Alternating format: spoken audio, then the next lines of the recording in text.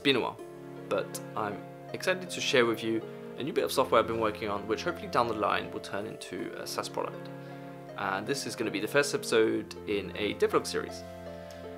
So, I've been working on a bit of software that allows you to create screen recordings of your uh, desktop or app and turn that into a time lapse automatically.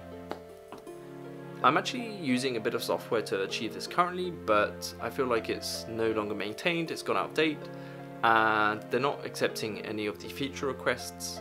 Uh, mostly that I want to also record the webcam whilst I'm building, um, so that I have the screen recording, I can have my code that I'm working on, uh, webcam down in the corner, and then it just exports the time lapse, and I don't have to mess around with it in uh, Premiere or any editing software, it just exports it directly.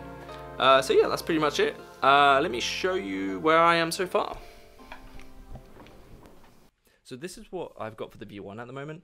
I can capture the current display and my webcam and can change the different display types, uh, things like that. So if you have like your code open, it'll display. And then the idea is that you would hit record build out your project, start coding, uh, maybe for a few hours, and then hit export, and it'll export export it uh, directly as a time lapse. Uh, you'll be able to choose FPS, uh, how many frames to display, etc.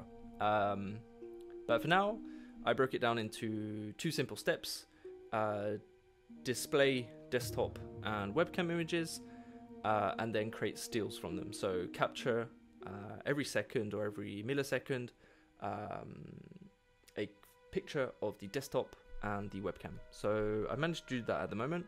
Uh, I started off by just trying to get the webcam working, uh, and I actually have this leftover button here, and there you go. So yeah, I was capturing the images, um, so that's pretty cool. So now I managed to capture the desktop and the webcam and store those images in an array, and then export it as a video took a few steps to get there, um, different attempts, uh, just getting the images to an actual um, MOV file, um, and also cropping the webcam into the picture, positioning it, and cropping it into a circle. Uh, I'll leave a few of attempt, few of those attempts uh, on screen. Just uh, if you don't like flashing images or silly faces, uh, look away now.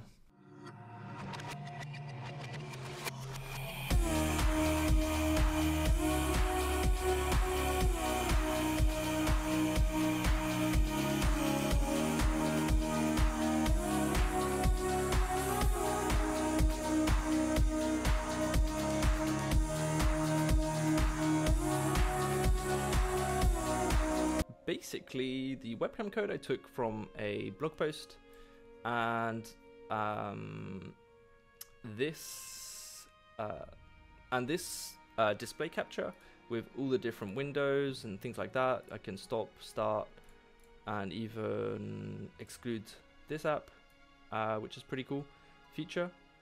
Um, this was all taken from an Apple demo, uh, modified a bit to fit my use case. Um, but yeah, got the basic foundation of the app. So the current implementation has been pretty rough, pretty quick. Basically, I just push to an array uh, a screenshot of the desktop and the webcam every second. And so you can imagine if these are images, they will get pushed into an array. And then when I hit stop time lapse, it goes ahead and exports it all uh, to a video. Uh, so this way of doing it isn't very good. Eventually, if you've been recording, you know, for even just like a minute, that's 120 images.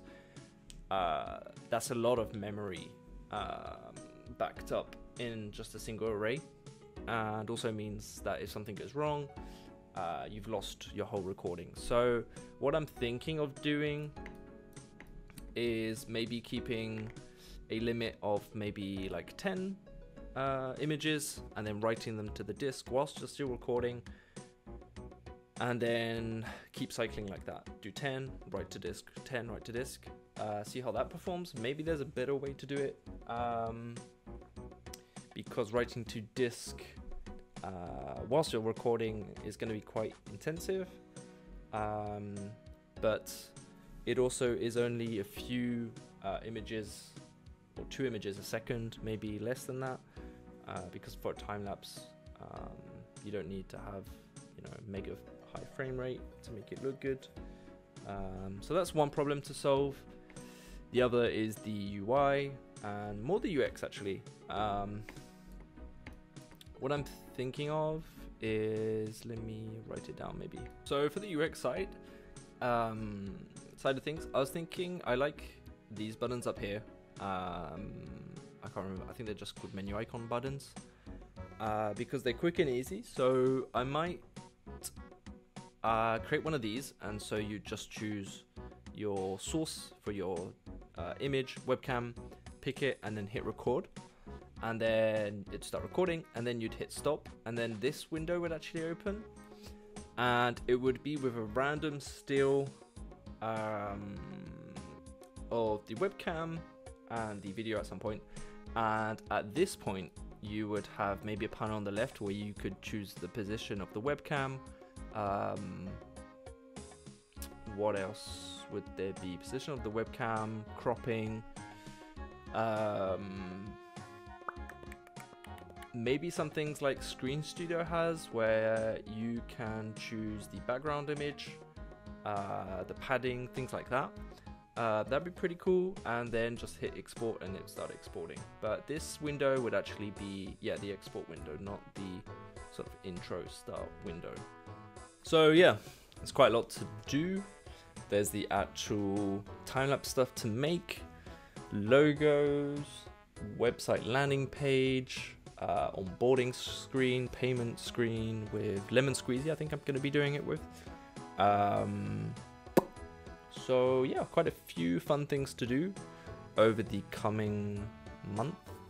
Hopefully this month, maybe next month a little bit, but hoping get it get it done fairly quickly. Um, so yeah, lots of things to do, but pretty cool stuff.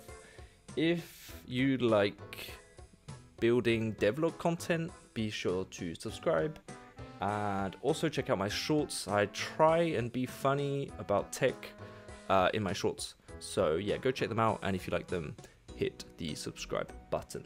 But if you made it this far, thank you very much for watching. I will see you in the next one. Goodbye.